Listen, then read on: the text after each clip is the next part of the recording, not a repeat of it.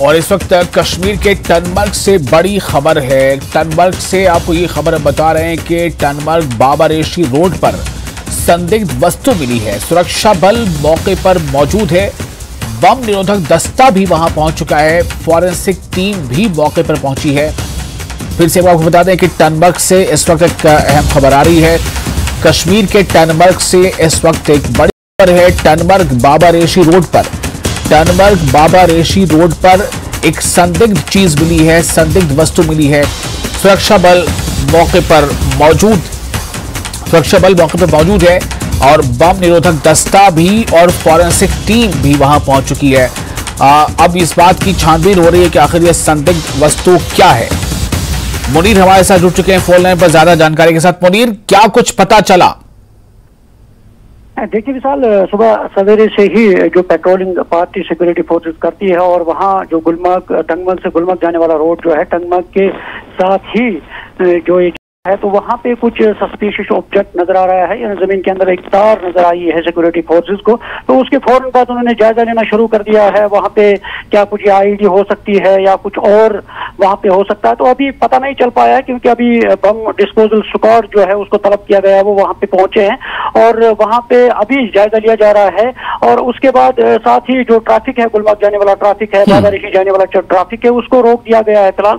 तो वहाँ जम्मू कश्मीर पुलिस है आर्मी है और बाकी जो सिक्योरिटी फोर्सेज की एजेंसियाँ है वो वहाँ पे पहुँचे हैं। और अभी उस चीज़ का जायजा लिया जा रहा है तो क्या कुछ ये हो सकता है। और जो ही पता चल पाएगा तो हम अपने सिलसिले में हम उन्हें आगाह करेंगे विशाल। मुनीर, ये कैसे नोटिस हुआ कि वहाँ पर कुछ ऐसी चीज़ है और ये कौन सा इलाका है जहाँ पर ये चीज़ पाया गया है और कितना ये इलाका, कितना मतलब अहम है इस नौयत से कि यहाँ पर ऐसी कोई चीज़ पड़ी हो या रखी गई हो और क्यों ऐसा लगता है देख करके ये कोई एक्सप्लोसिव ही हो सकता है? देखिए आपने सही बात कही कि इलाका ये है क्योंकि ये टंगमरग से गुलमर्ग जाने वाला सबसे अहम रोड है जिससे टूरिस्ट जो है इसी रोड से गुलमर्ग जाते हैं। और उसमें ये है कि सुबह सवेरे से जब पेट्रोलिंग होती है उसी वक्त सिक्योरिटी फोर्सेस को ये शायद जो नज़र आई है क्योंकि ये भी एक पहलू ये भी है क्योंकि ज़मीन के अंदर जो तार बिछाई गई है इलेक्ट्रिक तार जो है हो सकता है वो भी ये तार हो, मगर उस चीज़ का जायजा लिया जा रहा है, जो टूरिस्ट है उनको फ़िलहाल रोक दिया गया है। टंगमर्ग से ही जो क्रॉसिंग वहाँ पे टंगमर्ग की क्रॉसिंग है, यानी नाका जहाँ पे पुलिस का लगा होता है, वहाँ पे उन्हें फ़िलहाल रोक दिया गया है। तब तक ये सारी चीज़ें देखा जाएगा, उसका जायजा लिया जाएगा कि आया ये कोई सस्पिशियस ऑब्जेक्ट है, या वही जो तार है जो ज़मीन के अंदर बिछाई जा चुकी है गुलमर्ग और टंगमर्ग के इर्द गिर्द इलाकों में। तो अभी जो है, अभी जो कुछ बात सामने आएगी तो उससे हम रूबरू कराएँगे साथ। क्या मौके पर मौजूद है फॉरेंसिक टीम क्या वो उसे इकट्ठा कर पाई है सैंपल ले पाई है या फिर क्या बम डिस्पोजल स्क्वाड है वो पहले उसे आ, उसको अप्रोच कर रहा है? देखिए बम डिस्पोजल स्क्वाड जो है उन्हें तलब किया गया है क्योंकि उनकी अपनी यूनिफॉर्म होती है। वो अभी वहाँ पे जायजा लिया जा रहा है जहाँ पे ये तार जो ये सस्पिशियस ऑब्जेक्ट जो है शकावर चीज़ जो नज़र आई है वो उस चीज़ का देख रहे हैं। क्योंकि वहाँ पे आप उनको ज़मीन भी खोदनी पड़ेगी, क्योंकि उसका बाबा ये तार जो कहाँ कहाँ जुड़ी है, उस चीज़ को देखना पड़ेगा। तो वो वहाँ पे वो ये सारी चीज़ें कर रहे हैं और जो ही उन्हें कुछ उस सिलसिले में जो बाबा तौर पर जो तफसीत वो हम बताएँगे जी विशाल जी। बहुत शुक्रिया आपका, मुनीर, तमाम जानकारी के लिए। तो हम तनवर्ग से जो इस वक्त खबर आ रही थी कि तनवर्ग में कोई संदिग्ध वस्तु मिली है और उसके बाद वहाँ पर बॉम्ब डिस्पोजल स्क्वाड भी वहाँ पहुँचा है और फॉरेंसिक टीम भी वहाँ पहुँची है, लेकिन अभी इस वक्त उसके बारे में कुछ जानकारी इकट्ठा नहीं हो पाई है कि आखिर वहाँ पर वो क्या चीज़ है और क्या हो रहा है। जब तक के आधिकारिक तौर पर इसके बारे में कोई जानकारी नहीं मिल जाती, हम अभी आपको अपडेट और आगे देते रहेंगे।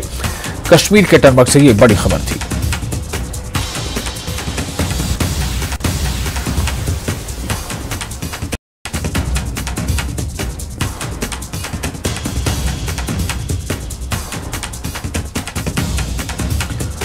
तो एक बार फिर से आपको बता दें कि जम्मू के नरवाल में दो धमाके हुए हैं और इन दो धमाकों में कुल छह लोग घायल बताए जा रहे हैं। खबरों के मुताबिक, और जैसा एडीजीपी ने बताया कि पहले एक धमाका हुआ, कुछ लोग घायल हुए, वहाँ पर जब पुलिस की टीम पहुँची और लोगों को वहाँ से शिफ्ट किया, अस्पताल में इसी भी दूसरा धमाका हो गया।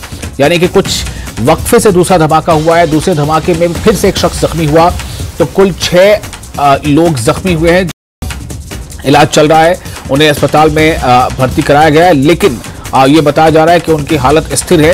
ये धमाका जहाँ नरवाल में हुआ है, वो वो इलाका ट्रांसपोर्ट नगर कहलाता है। पुलिस ने पूरे इलाके को घेरे में ले रखा है।